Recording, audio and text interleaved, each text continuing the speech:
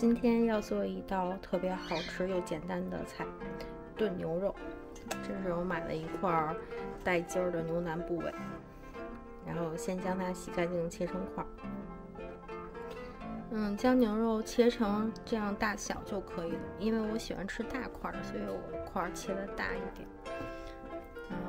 如果喜欢小块的，可以再小一点。然后觉得这块肉也特别完美，它是属于肥瘦相接的，而且带筋。嗯，然后呢，我们要放一些葱段儿，然后再丢下一块姜，一定不要去皮。然后再准备一条大蒜，不要去皮，洗干净丢进去就可以了。炖牛肉的配料基本就需要这些，很简单。然后再扔进去两颗大料，以及咱们嗯摊主给的料包，然后加一些酱油，用生抽，再倒一些花雕，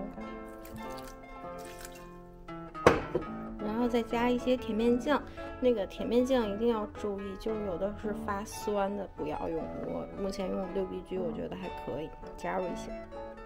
基本就倒入这个量，我这个牛肉差不多是二斤多一点，基本上就是这个量就可以了。然后再根据自己的口味放一些盐巴。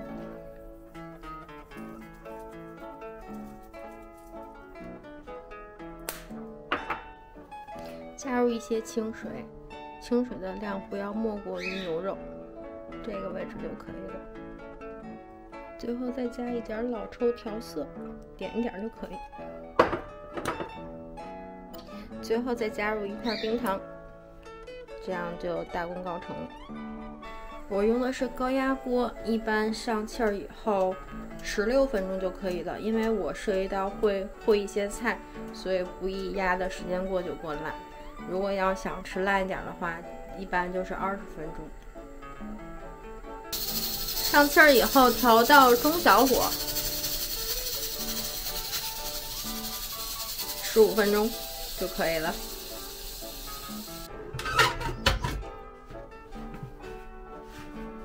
大功告成，出锅了。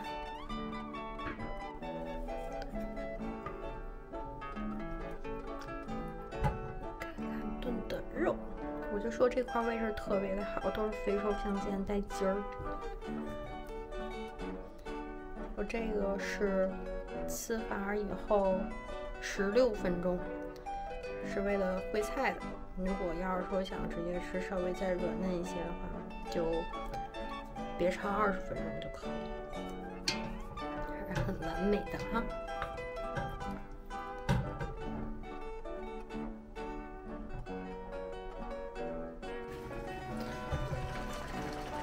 土豆炖牛肉。